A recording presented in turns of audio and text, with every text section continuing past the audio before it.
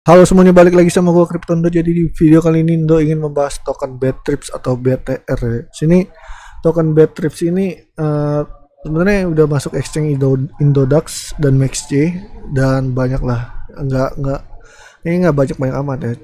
Kalau nggak salah nggak lebih dari 10 guys. Dan sini twitternya 18.100 dan ini Indo bahas karena ada yang komen bang tolong bahas token Trips. Oke ini akan Indo bahas jadi di sini token Batrix ini uh, ibaratnya token yang masih belum berkembang banget ya, malah jatuh banget guys. Ntar lihat ayo kalian nanti.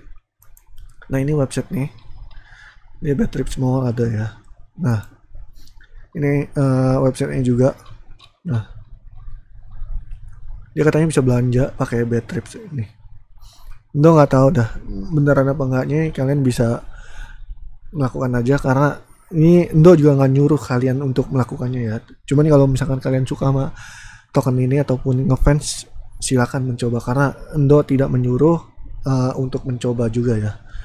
Karena website-website kayak gini hanya hiburan aja guys buat kalian. Selebihnya kan kalian kan beli token bukan beli websitenya.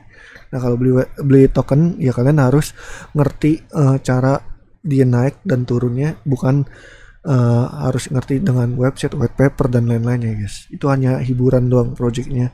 Da, apa maksudnya project dari crypto ataupun token dan koin tersebut. Dan kita langsung masuk ke koinnya, eh koin nih ke CMC nya. Sini dia rankingnya 2833 ya. Dan token dan dia BTR dan dia Ethereum dan masih belum di apa verified uh, hashtagnya dia fashion, NFT, musik, luxury, dan ekosistem Ethereum. Dan supply-nya juga masih belum di verified. Dan ini marketnya apa nih? Nah, baru 6 ya. Coin One, Bittrex, Maxi, Bit Global, Indodax dan Flybit ya. Kalau udah masuk Indodax, Indo tuh selalu ngeri guys. Jujur, karena Indo udah gak main di Indodax, Indo main di Binance. Nah, ini uh, lihat guys grafiknya.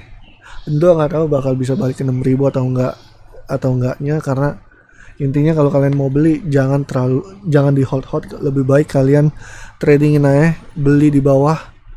Kalau udah naik dijual. Kalau misalkan dia uh, kalian udah beli terus masih turun uh, apa ya, pakai stop limit ataupun kalian harus cut loss. Soalnya di Indodax itu nggak ada stop limit kalian harus bisa memprediksi kalau misalkan dia turunnya di berapa guys. Intinya seperti itu. Jangan terlalu gurung gusu karena kita nggak tahu ini ke depannya ini permainan uh, apa ya, cukong guys. Tukon apa token-token BTR ini. Jadi kalian harus hati-hati. Jadi sesimpelnya jangan pernah di hold jadiin tradingnya aja. Kalau kalian uh, mau beli token ini jangan pernah di hold. Karena token ini kayaknya nggak ada masa depannya ya. Tapi balik lagi ke depannya Indo bilang sekarang nggak ada masa depannya tapi untuk masa yang akan datang nggak tahu akan uh, ada apa ya, maksudnya masa depannya ada atau enggaknya jadi Indo hanya memprediksi aja kalau token ini nggak ada masa depan. Tapi balik lagi guys ini hanya prediksi Indo.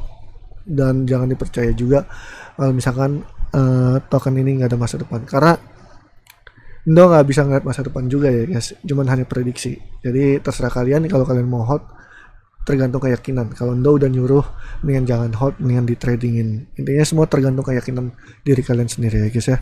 Oke itu aja yang bisa Indo sampaikan. Thank you untuk semuanya. Bye bye love you and Indo